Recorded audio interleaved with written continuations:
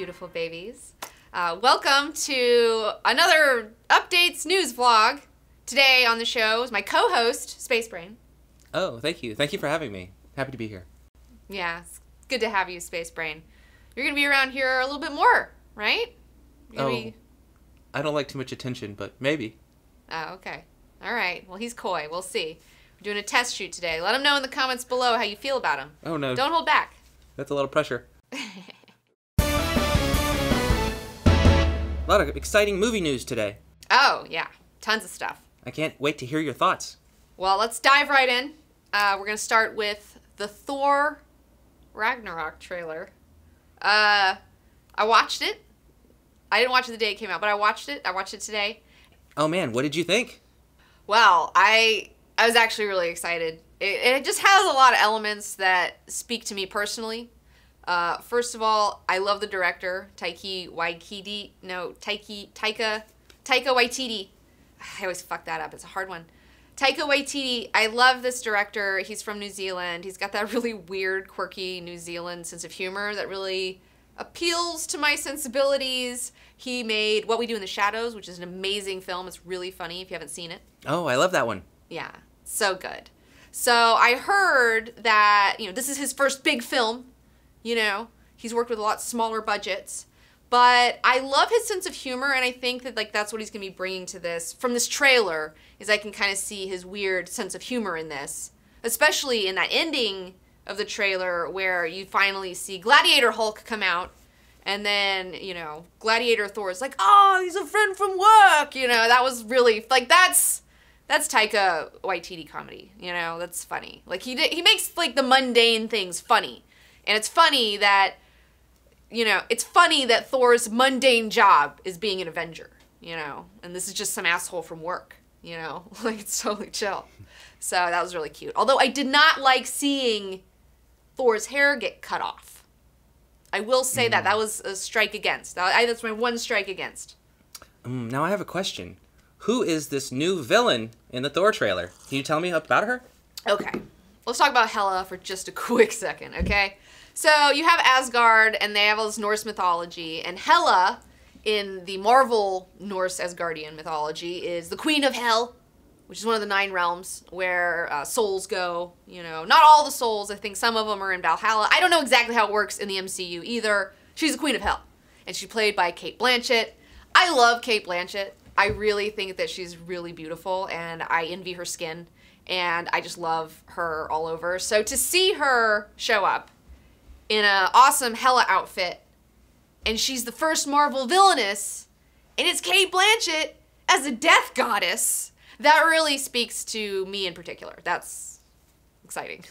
Now, you don't normally get this excited about movie trailers. What's different about this one? That's true, Space Brain. Like, you really can't trust a trailer. It might be mediocre, you know, it might be another mediocre Thor films because the Thor films have been mediocre, in my opinion. I have not, like, I don't own any of them on Blu ray. So this could be, this has the potential to be the first Thor movie that I'm, like, super fucking excited about. But I'm not gonna get completely, you know me, I try not to get on the hype train. But I did get a little bit of tingles when I watched this trailer, and I hate to admit that. It's game over. Like you got all the, you got Cate Blanchett, you got Jeff Goldblum, you got Taika Waititi. I'm in. Like you got Thor, you got Gladiator Hulk. I'm good. Like let's do it. Like done. I'm in. So I'm looking forward to Thor Ragnarok, and I'm really excited about this villainous. I'm so excited about Hela. The Marvel MCU, like the weakest link in pretty much every Marvel movie is the fact that their villains are not very strong. Okay, unless you're talking about like Kingpin and uh, and the Purple Man on Netflix, those are strong villains. But those are the those are the strongest Marvel villains out of all the Marvel properties. So I'm really excited to see. Uh, I think Cate Blanchett has what it takes to be a real awesome villain, and I don't think she would have taken this role if it sucked. You know what I'm saying? Although she did take that role in Kingdom of the Crystal Skull, and she was a villainess in that one. And uh, that movie was terrible. So I mean, I, I don't know. Maybe she. Maybe I don't know. Yeah, that kind of throws out your whole argument. It does. Yeah, I shouldn't have said that. but you know, we'll see. We'll see. It's a new year. Maybe she's learned from her mistakes in the past. Now, I think that this new third Thor movie is interesting because I think that they're on to a new formula this time around, combining other characters from the Marvel Universe, such as Hulk, and I heard that Doctor Strange might be making an appearance. You're right. I've heard that too. That Doctor Strange is gonna show up in this because he because Thor showed up at the end of the Doctor Strange movie, and they were like, "Oh, we're gonna have to do something," and then so maybe he pops up, but he wasn't in the trailer. I didn't see him in the trailer, so Oh, you're right. Did they say we have to do something about Hulk in the end of that? Was that what it was? I don't remember. It's just so much has happened to me. That was such a sad, so much has happened to me. like, so much emotion on your face. Was it? Yeah. it just slipped out. Let one slip there. You. I'm fine. I'm fine, guys. I'm fine. it's fine.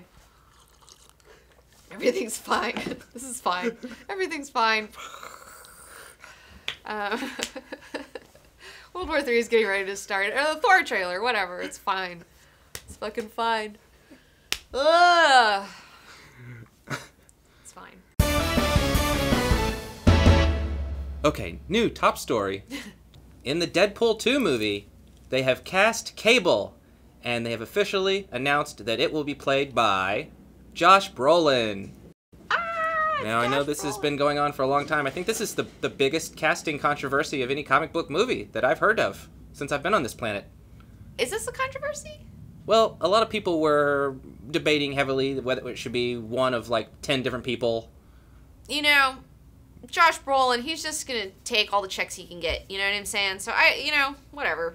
Yeah. Fucking who cares? You know. All right.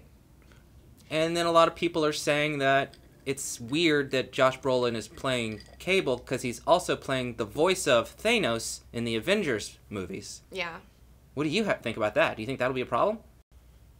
He might sound like the same character, I don't care. unless he can throw his voice. Uh, I just don't care. It's fi- you know what? It's fine. Sure, I'll allow it.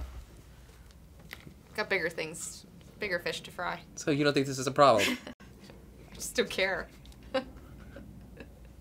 this is BS movie news. You have to care. Well, it's ephemeral. I mean, it's like okay, great. He's fucking Cable. Sure, why not? Okay, Josh Brolin. Okay. There's a lot of people that have played in a DC universe and in a Marvel universe. And there's also been people now who, I mean, it's all Marvel. So he's playing two characters in the Marvel universe. Which one is just a voice. I don't know. Who cares? Sure. It's Josh Brolin. Okay. Well, glad we solved that. Yeah. Yeah. It's oof, weight off my mind. uh, first of all, let's touch base on Ghost in the Shell. It bombed. It's official bomb. Mm. And Paramount has come out saying that they believe that the whitewashing controversy is it has really hurt the box office, and that's why it didn't do well. It's because the whitewashing controversy because people didn't want to see white girl Scarlett Johansson as the main character. People felt she should have been Japanese. But you know what the real problem with the movie was? It was that it sucked. that was the problem, okay? Don't blame Asian whitewashing controversies for your shitty movie, okay?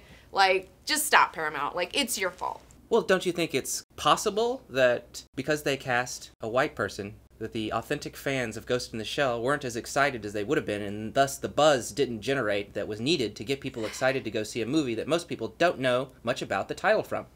I don't know. I just, I think it sucked, and everyone heard about it that it sucked, and then no one went. So I really don't. I mean, it, it didn't help anything. I'm not, I'm not gonna say it, it. It hurt a little bit. I'm sure it played into it. It was a factor, but you can't say that that was the overriding factor.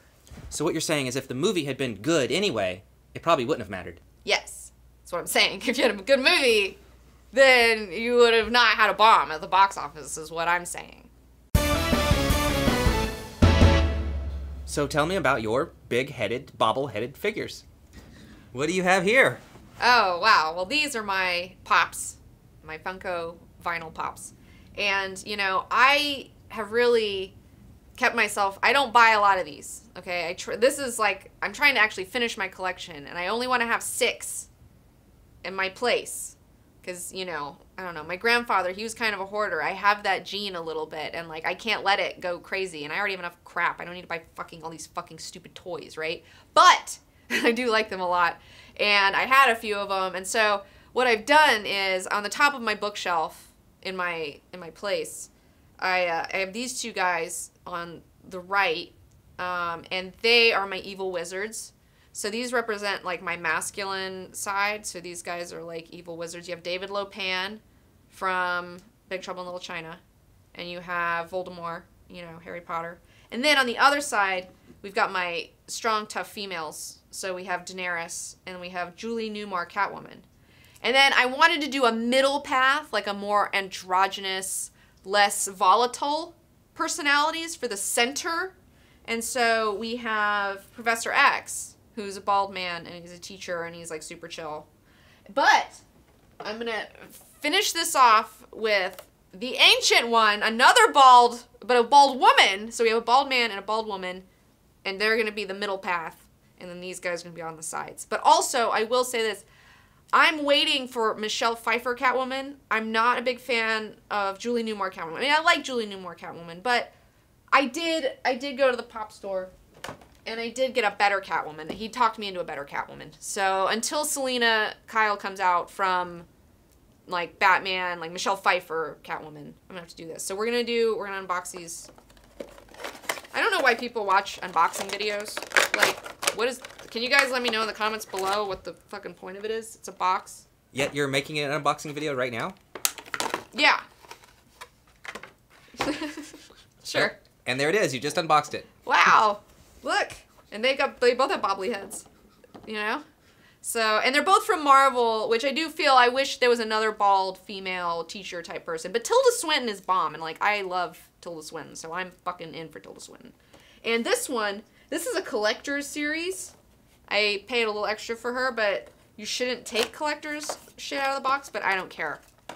Because I'm not here to collect shit and fucking think I'm gonna make money off this shit later. So instead, we have like original, one of the original Catwoman outfits from the comics, where she's wearing this really crazy green and purple outfit, and she's got a whip, and it's super hot. So I like that Daenerys has a dragon and she has a whip. So this Catwoman is much better than the Julie Newmar one. So now my pop collection is complete. Let me know what you think. Do you divide your pops by personalities? How do you divide your pops on your bookshelf? Are you a fucking loser and you buy these stupid things too? Fucking plastic. I saw Elvira the other day. I really wanted her, but I was like, no. Stop. What's your fucking problem? So, this might sound like a rude question, but obviously I'm not from Earth. Um, this seems like a strange human tradition, and I'm not quite sure what is the appeal of these weird, giant headed action figure characters. Um, Why do people want these? Well, I can explain that aesthetically speaking, like babies, that you have a big head to body ratio. We're programmed to love that ratio. Like we're like genetically programmed to like things with big heads and little bodies. Oh, So aesthetically, that's why I think pops, because they look like babies. oh, that scientifically makes sense to me. Thank you. Yeah, you're welcome. I actually knew the answer to that question. I've loved chibis for a long time. I love chib like chibis. Originally, I came in contact with chibis uh, through Japan. Japan. Japan started the chibi thing, where they have like a cool character, but then they also draw them as these little teeny big-headed characters that are really cute and simple. So, I've drawn a lot of chibis in my life. I really enjoy drawing big-headed characters myself. I have my own style of big-headed character that I draw. And oh my gosh, the best, my favorite news of the night is all about how since our last episode, we kicked off our pre-sale for our Dune box in preparation for Dune Club this summer, where we're gonna read Dune together over 12 weeks. Uh, I had really low expectations for how many people were gonna show up for this, and you guys knocked it out of the park, okay? Like, you guys are overwhelming me with how much you guys are super excited about Dune Club. Uh, so I'm, like, really excited. Uh, what you get in your Dune box, and again, it's gonna look a little different than this, but you're gonna get a signed copy of Dune, and then we've got a bookmark in here with me as a Dune worm, Leto. You, you're not gonna meet him in this book. He's a couple books later, but And then you're gonna have a spice necklace that you can leave on as a tassel, and there'll be an Atreides pin that I have designed, also be in there, so you can put it on your fucking coat or your hat or whatever you want to do. And yeah, and you don't have to buy the Dune box to be a part of Dune Club, though. You know, I want to make this free for everybody. A lot of you already have your editions of Dune. The only thing that I will say is that this particular edition is the one you should be reading from because there are no chapter numbers in Dune. Okay, there's no chapter numbers in this bitch, okay? So I can't tell you read chapter 1 through chapter 4 unless you want to go through and number them all yourself. And like there's a lot of chapters, okay? Like you don't want to do that. So what I've done is I have page numbers that I need you to read from. So you can still figure it out. I mean, we'll figure it out, but it's easier if you do it with this edition. So, but I've had some people asking me, "Oh, I want to read it in Spanish." Go ahead, get get one in Spanish, get one in whatever language you want to read from the page numbers may not figure, you know, I'll tell you chapter numbers, but they're not it's not in the book. You're going to have to fucking number these chapters yourself. So, it's a peculiar oddity of this book. Is the Dune box available for international people? Why, yes, it is. The why, yes, it is. The Dune box is absolutely for my international peeps. Uh, you guys are totally can get one. Get on the train. Get on that Dune hype train It's leaving the fucking station. You know what I'm saying? It's going pretty great. So I'm excited. Thank you guys. Like, thank you to everybody who has participated, who has bought a Dune box pre-sale. You guys are amazing, and I fucking cannot wait to get into Dune Club this summer. Actually, next week we're gonna be talking about Fate of the Furious. I couldn't be more excited. It's my favorite garbage movie. I love those garbage movies. I'm not usually I'm not into a lot of garbage movies, but this franchise is the best. Mm. So we can expect a real episode? Yes, actually. yeah, we're doing a real one. Not one of these do. bullshit movie newses. No. It's going to be on the other set. Okay. On the fancy set. Uh, if you liked this video, be sure to thumbs it up. If you like this channel, you should subscribe to it, and then there's a little bell that you have to press, and then like it'll let you know when new videos come out. It's a whole thing. And you can also follow me on Instagram if you want to see what fire memes, my favorite memes of the day. I post a few of those every day. And then on Twitter, I'm sassy to people a lot. And I answer a lot of questions. So you can follow me on those as well. Have a good night. You've had a very strange rhythm today. I know. This is full moon or something. I don't know.